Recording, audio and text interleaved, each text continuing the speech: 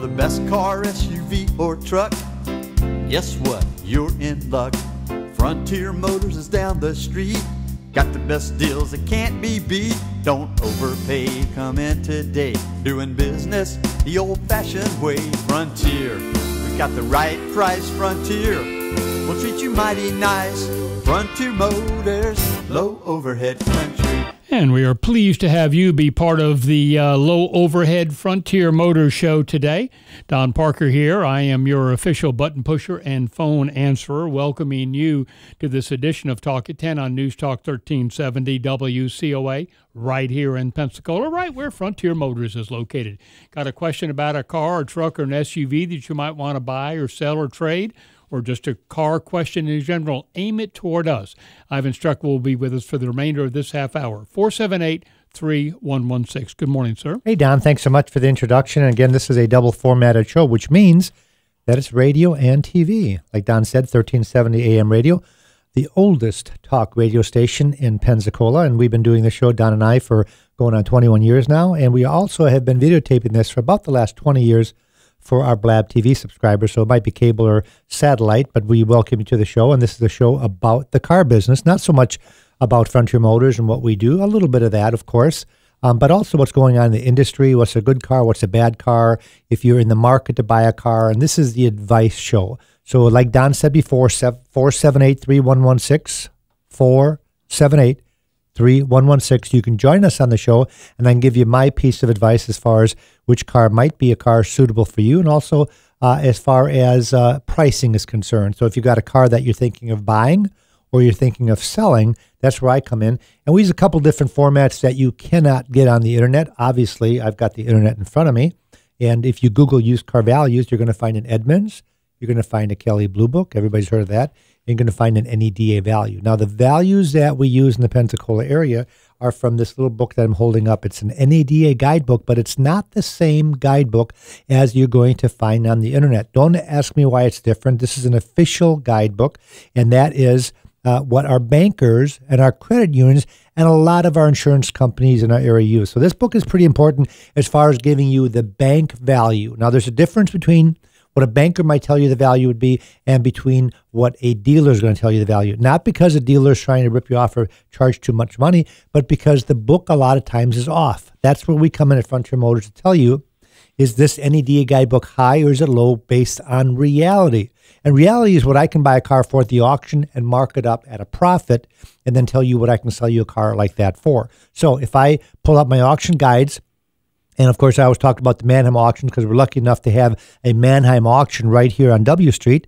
And the Manheim is the largest chain of auctions in the whole wide world. And uh, we are uh, lucky enough in our area, which I would consider uh, Florida and Georgia and uh, Mississippi um, uh, and Alabama to be our area. There are approximately uh, 12 or 14, 15, 13 or 14 auctions in our area, and they sell between 20 and 25,000 cars every week. All that data gets compiled into the MMR. They call that MMR, which is Manheim Market Report, and tells me what, on average, a particular car is selling for.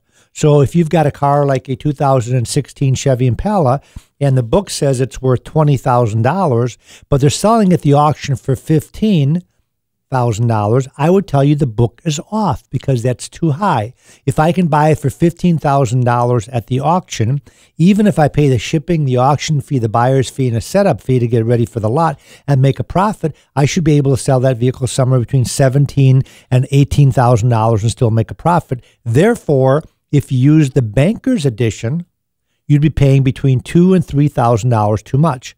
And that's why you call Frontier Motors or stop in at Frontier Motors, and we will give you our selling price on a particular vehicle, whether we have that vehicle in stock or not. So what I do is I get into my inventory to see what I have available. If I don't have the particular car you're looking for available, I will go into the auction ports and say, okay, here's a supposed. Suppose that I can get this car for you for seventeen to eighteen thousand dollars is a 2016 Chevy Impala LT with leather interior with less than 20,000 miles on it, and it has to pass your condition report. So if your neighbor's selling that car and they're asking 20,000 because that's what the banker said it's worth, you can use my figure to maybe go back to your neighbor and say, "Hey, Frontier Motors can sell me this car for around 17 to 18. So unless you come down to that price, I'm out." And I've helped hundreds and hundreds of people get better deals at car dealerships or private individuals just from calling us first for the free advice. Now, sometimes what happens is if you aren't able to get the person that you're buying that car from to drop their price, you drop them and you buy from us. Let me turn this phone off. Yeah. And you buy and you buy from us. I hate these phones when you I put it on silent on, but it doesn't care. No, it doesn't. so we'll put it on silent. And by the way, when I'm talking about a smartphone, the cool thing about it is I got these books right here that I hold up. Uh, Don, here's an NADA right. guidebook. And what, what's the date on that one? I uh, wonder. This book is uh, dated um, uh, two, December of 15. Yeah, well, last time you were yeah. getting them. This one here, the Black Wholesale Guidebook. I right. always hold this up for aesthetics in the uh, for the for the yeah. TV uh, audience. This is dated October 1st, 2014. Yeah. That's the last time I had this beat book. up looking too. Yeah. The last time. But I use this book because these books are now on the phone. Mm-hmm. You know, so I've got what I do uh, when I appraise you, a car. You, subscribe. You pay money to. oh yeah, just like when I bought these books, yeah, it's sure. actually a little bit cheaper to get it on the internet than it is right here. Generally, but the, ni- is, yeah. but the nice thing about it is I don't have to carry this book around because I always have my phone with me, and I've got a little thing called Inventory Plus, and then that's got a scanner bar to it. So when you bring your car into Frontier Motors, all of our appraisers have the scanner bar. So I scan the ID number and I can do this over the phone, by the way. You can give me the ID number, I can do the same thing. But I scan the ID number, and instantaneously that ID number goes into our system and it does a couple different things. Number one, uh, it tells me the history report of the car and the history of the car. And a lot of people don't know the history of their car. They might have bought it secondhand. They might have never even looked. They might have had the car so long before were Carfax reports and before were auto checks. You know, 20 years ago, they didn't have Carfax and auto checks. So if you've got a car that you bought 20 years ago, you wouldn't have any clue what the history is. So that's what we do. We put that ID number in there, and for no charge, we give you the history report of the car that you give me the ID number to. Now, it might be a car that's for sale uh, from your neighbor. I was using neighbor, neighbor for example, because you don't want to make them look that bad. But neighbor says, "Oh yeah, I bought the car brand new. There's no issues." But you pull it up on the Carfax report, and it says back uh, uh, six months ago the car was in a major accident, and the airbags were deployed, and the vehicle had to be towed. So what does that do to the value of the car? And the guy's asking twenty thousand dollars, which happens to be full retail on the NADA guidebook? Well, you got two things. Number one, I already told you I can get you that car without an accident at the auction for between seventeen and eighteen thousand. That's the first issue. Number two, I can get you that car without having been in, uh, in an accident for between 17 and 18. So what does a major accident do to the value of the car? It's an opinion. There's no rhyme or reason. There's no percentage. But my opinion is somewhere between two and three thousand dollars is going to be the diminished value of that car, which, by the way, if you get in an accident and it's a major accident and somebody else harms you, I can give you a letter of that diminished value so you can go back to the insurance company and ask them for extra money because if you decided to trade that car after it was repaired, it's going to be worth less. And it just makes sense. Folks, if you're stopping in any dealership and you're looking at a particular car, especially if it's a newer type car, a 16 or even a 15,000 a 15 model or 16 or 17 and you find out it's been in a major accident what does that do to your attitude about buying that car? Usually it puts it in the gutter. You're pretty much done. Or if you're savvy you get the car inspected. You make sure the vehicle was fixed properly with the proper parts and then you make a low offer. Because that's what I do. We don't go out and buy cars that have been in a major wreck, but we do take them in trade.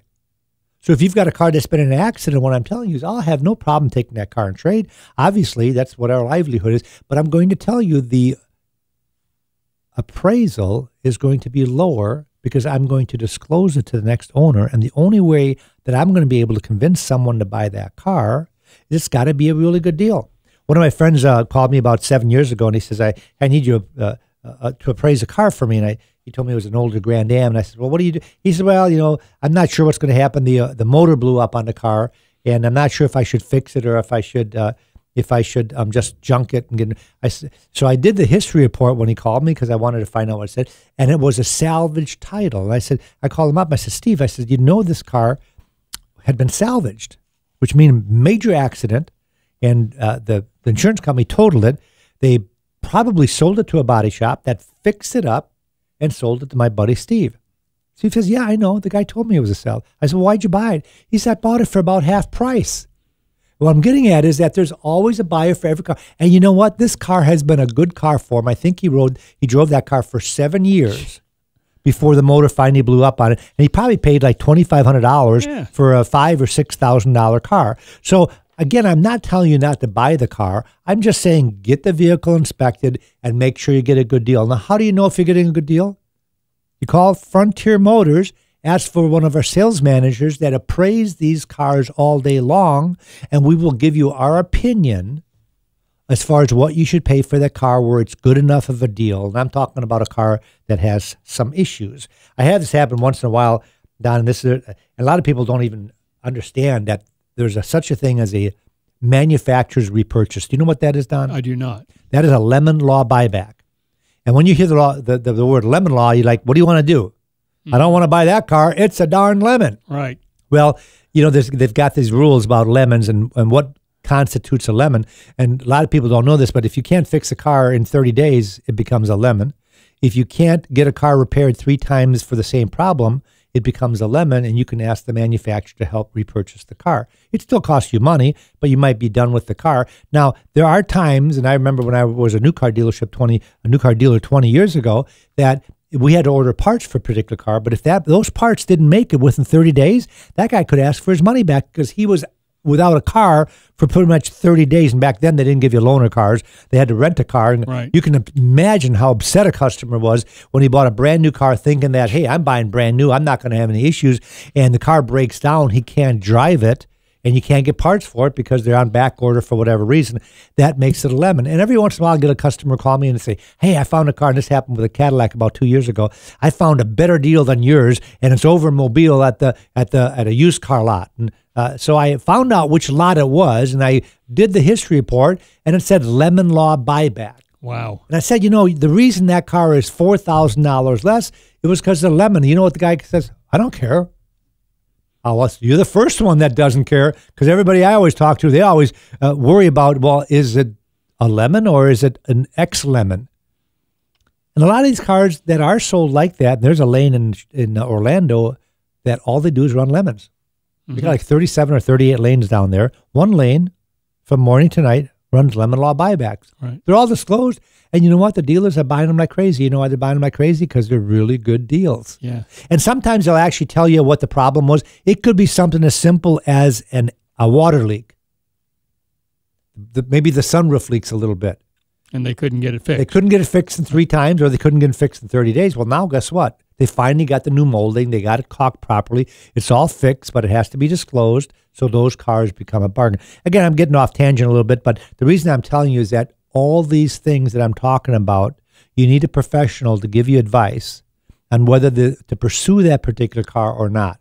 A lot of times I'll tell you no, and a lot of times I'll tell you yes. And if you find a car at a dealership, last time I checked, and Don and I, we do this every once a month, is uh, how many dealers are there in Pensacola? I forget right now. I think the last time I counted was like 120 dealers. Yeah, something like that. I remember. There was you- yeah, 23 new car dealerships and like 102 used car dealerships, so like 120 or 130 dealers. Folks, there's a lot of dealers out there. That means there's a lot of cars out there. We realize that Frontier Motors is not the only game in town. We are actually the largest independent dealer in the South. We have almost 400 cars in inventory, and we sell pr- approximately 200 to 250 cars every month. So we're a very large, small dealership.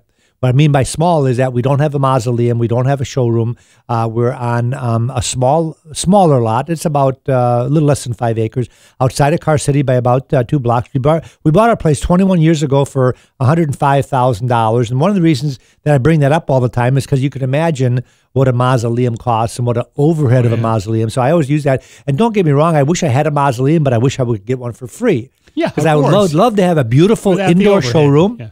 where I don't get rained on. I can put all my used cars in stock. But guess what? You don't get that for free. You pay for it. All those glass windows that you see. Guess what it calls the costs to heat and cool. Just that alone, as far as the overhead, not to mention the price to put it up, and not to mention the taxes and the insurance and the maintenance. All that goes into the overhead of when you sell a car, and you have to sell an awful lot of cars to pay for that building. And sometimes they don't sell enough cars, so therefore the amount of money on these some of these overhead dealerships, the amount of money you have to make is a lot compared to a small, what I consider one of the guys up uh, in Car called uh, years ago called us a dirt lot because we have gravel in the back. We have asphalt. yeah. We have asphalt out front, but in the back where some about a couple hundred cars are, that that that's a gravel I lot. I don't think it was so a compliment. It wasn't. They said, "Yeah, that you're talking about buying from that dirt lot over uh, on uh, yeah. on uh, uh, Beverly Parkway," and they said, "Yes, that's exactly what I'm talking about because they're nicer, they have cleaner cars, and they do business the old-fashioned way. They give me and a price. I don't hear you insulting them." I don't. I, you, you know, don't. we talk about overhead, but you'll never ever talk hear me talk about any single dealer unless it's a good thing. I was talking about, for example, if you're going to buy a Chevrolet, there's two Chevy dealers in, st- in town. You got Pete Moore and you got Sandy Sansing. And obviously, if you're going to buy brand new, I would urge you to go to one of those two dealerships because we want you to keep the money in town. So I don't say anything bad about that. All I say is that I am the alternative to new. So mm-hmm. if you're going to go and buy a Ford over at World Ford, Get a price from them on a 17 F 150. Come to Frontier Motors, take a look at our 17 model or our 16 model, and let's see how much money I can save you. And if I can only save you a couple of thousand dollars, I'm the first one to tell you go buy it from World Ford. But what if I could save you six or seven thousand dollars? Wouldn't that be enough to convince you to buy one that maybe has six thousand, seven thousand, or ten thousand miles on it? So sometimes you say yes, and sometimes you say no the Lexus dealership, they're going to tell you why Lexus is the greatest thing ever since sliced bread because they, they've been the number one rated car for years and years. And now Audi's moved to town and you got a new Audi dealership and they're going to pull out the, the 2017 Consumers Reports that says Audi, for the first time ever, just beat Lexus to be the best car ever. Now you're completely confused. At Frontier Motors, we sell every one of those cars. We've got the Audi, the Lexus, the BMW, the Mini. They're all lined up there. And you can go to one dealership and test drive every single one instead of going to four different dealerships, meeting four different salesmen, and having the so, the squeeze put on you, so to speak, at four different car lots, getting you to try to buy a car the first time there while you're still just in the information gathering stage.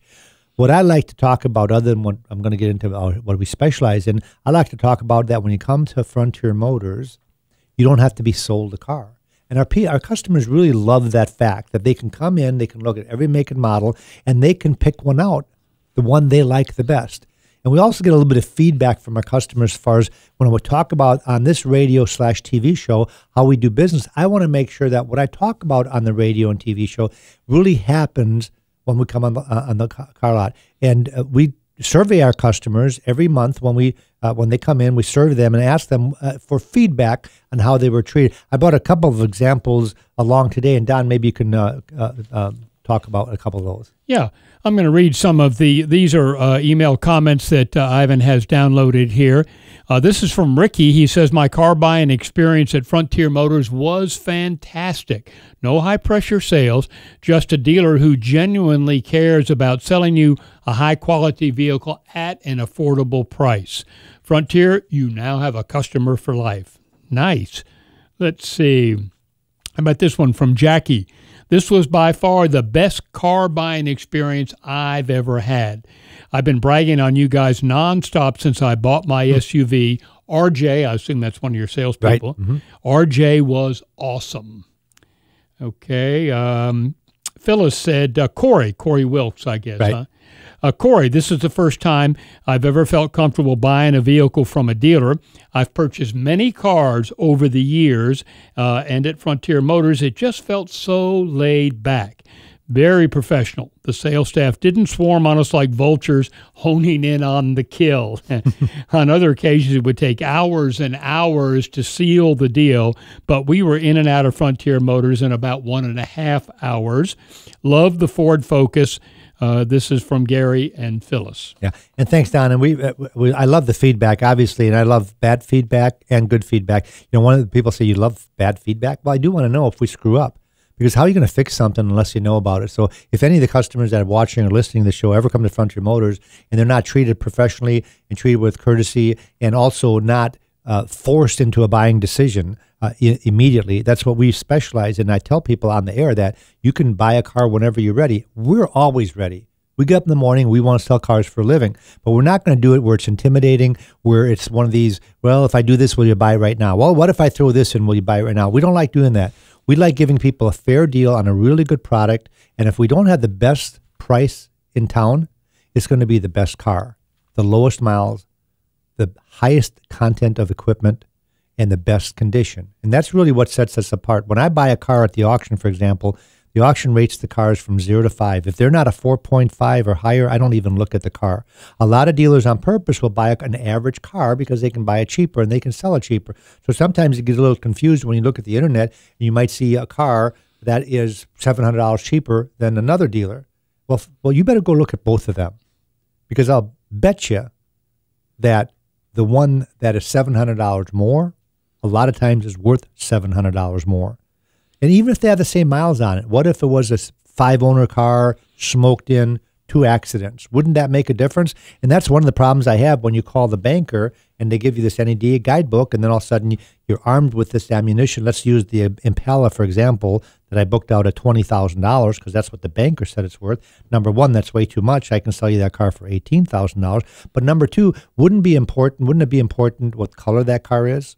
Wouldn't it be important how many owners it had? Wouldn't it be important if it was serviced or not serviced, especially if you have proof of it being serviced on a regular basis? That would be important to me. It also would be important if it's been in three accidents versus no accidents.